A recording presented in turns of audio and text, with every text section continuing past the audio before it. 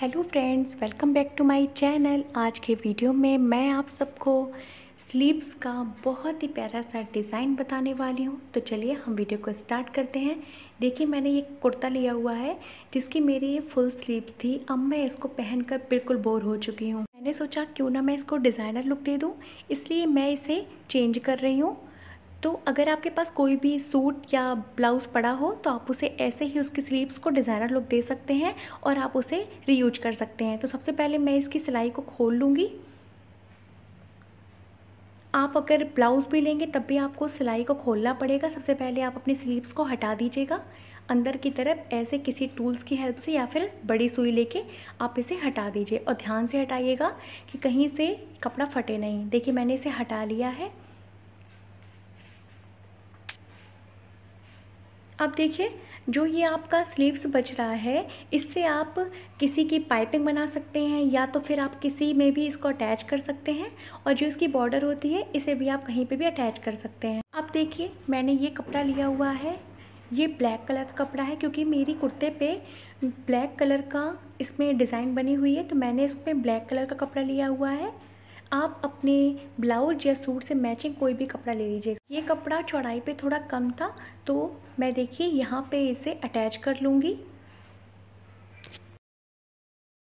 मैंने इसे अटैच कर लिया है। अब इसकी चौड़ाई बढ़ चुकी है।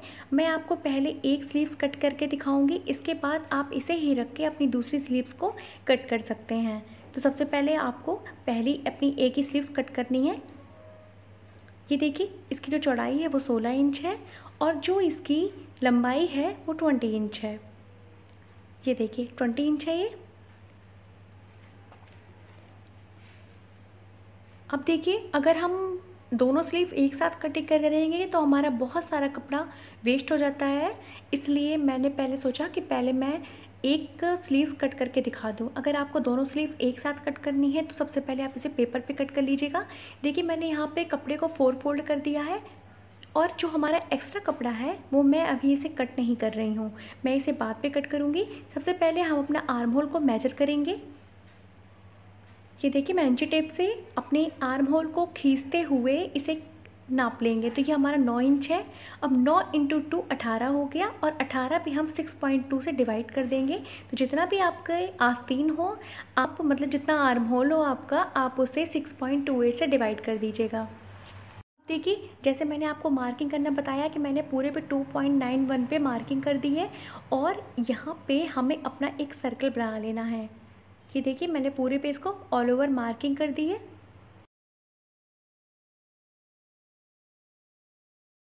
देखिए, आपको अपने इंची टेप को ऊपर साइड पे रखना है और हमारा ये देखिए एट इंच है। अब एट इंच पे मैं पूरा इंची टेप को ऊपर के साइड ऐसे ही पकड़े रहूँगी और नीचे साइड एट इंच पे पूरे पे ऑल ओवर मार्किंग कर दूँगी। ये देखिए, ऐसे आपको पकड़े रहना है और नीचे अपने इंची टेप को घुमाते चले जाना है। ये हमारी अम्ब्रेला स्लीव्स की कटिंग होती है। अगर आपने मेरे चैनल को अभी तक सब्सक्राइब नहीं किया हो तो प्लीज़ मेरे चैनल को सब्सक्राइब करना बिल्कुल मत भूलिएगा। आपको ऐसे ही वीडियो देखने को मिलते रहेंगे। आपने जो मार्किंग की थी, इसे हमें पूरे पे सर्कल का बना लेना है।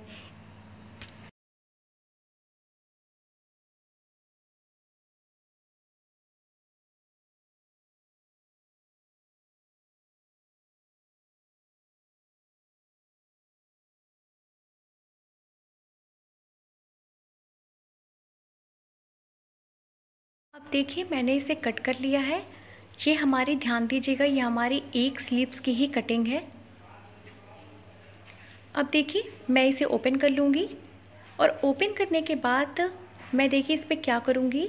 जो हमारा ये पार्ट है, जहाँ हमने इसको कपड़ा अटैच किया था, इसे हम नीचे साइड में रखेंगे। मतलब हम अपने अंडर आर्म्स के साइड इसको अटैच करेंगे। और ये हमारा सेंटर का साइन है, जो मैंने आपको बताया था। अब इसके बाद आपको ऐसे ही इसे फोल्ड करना है। अगर आपके पास कभी भी कपड़ा कम हो तो आप इसे ऐसे अटैच कर सकते हैं और इसके बाद जो हमारा सिलाई वाला पार्ट है, इसे आप नीचे के साइड कर दीजिएगा। जैसे हमारा अंडर आर्म्स के नीचे हम इसे कर देंगे और शोल्डर के साइड हमारा जहाँ पे सही पार्ट है मतलब जहाँ पे हमने कोई कपड़ा ज्वाइन नहीं किया है, उसको अटैच करेंगे। अब देखिए आपको इसे ऐसे रख देना है। इसके बाद देखिए, हम यहाँ पर क्या करेंगे? इसको पहले तो हम इसको फोर फोल्ड करेंगे। पहले मैंने एक फोल्ड लगाया था, इसके बाद फिर से मैं इस पर एक फोल्ड और लगा दूँगी। ये देखिए, हमारी एक स्लिप्स थोड़ा सा नीचे है और एक स्लीव थोड़ा ऊपर है। अब देखिए, उसी तरह जैसे मैंने आपको बताया था 2.91 जो हमारा आया था, हमारा मतलब 18 इंच पे जो हमने 18 को 6.28 से डिवाइड किया था, हमारा 2.91 आया था मैं आपको पहले इसकी मार्किंग बता चुकी हूँ। इसी तरह हम यहाँ पे फिर से मार्किंग कर लेंगे और इसके बाद मैं इसे कट कर दूँगी।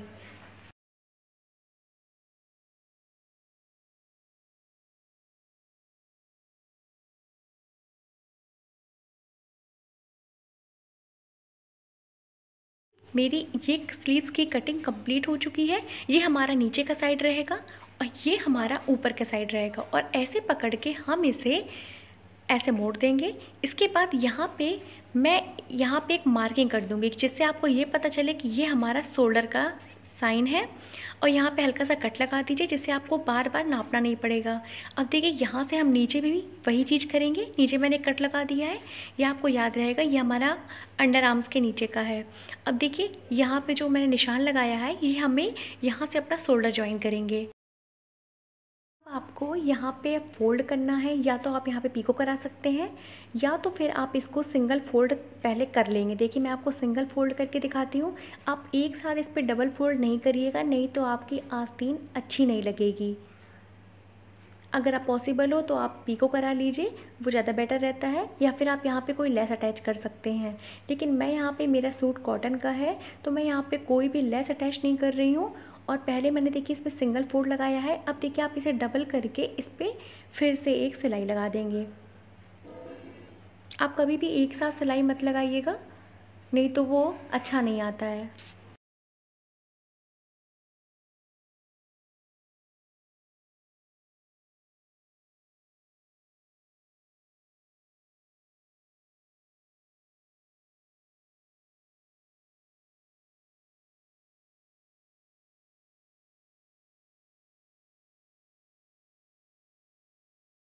मैंने सिलाई लगा दी है। अब इसके बाद हमारे पे कहीं पे भी झूल नहीं आया है।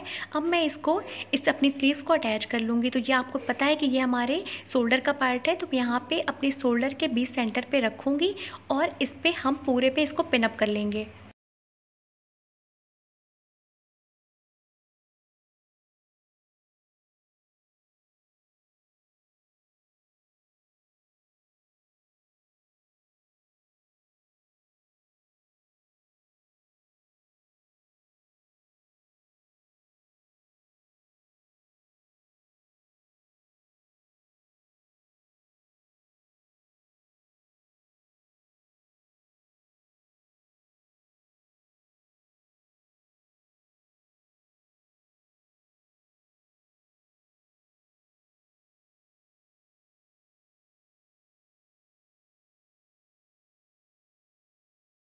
मेथड से आप अपने किसी भी पे, सूट पे, कुर्ती पे अपनी स्लीव्स को ऐसे अटैच कर सकते हैं। अब देखिए, पूरे पे मैं यहाँ पे सिलाई लगा दूँगी।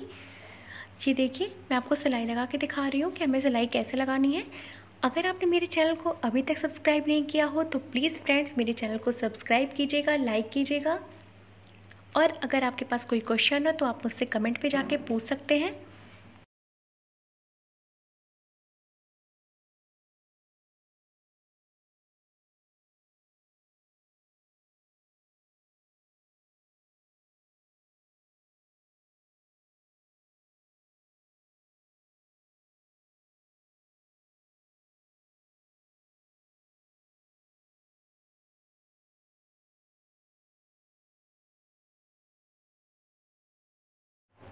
देखिए, मैंने अपनी स्लीव्स को पूरा अटैच कर लिया है।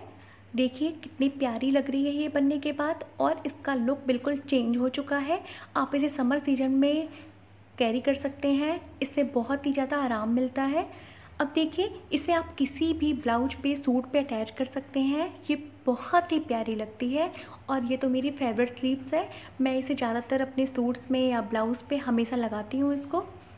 और अगर आपको भी ये अच्छी लगे तो आप मुझे ज़रूर बताइएगा कमेंट करके।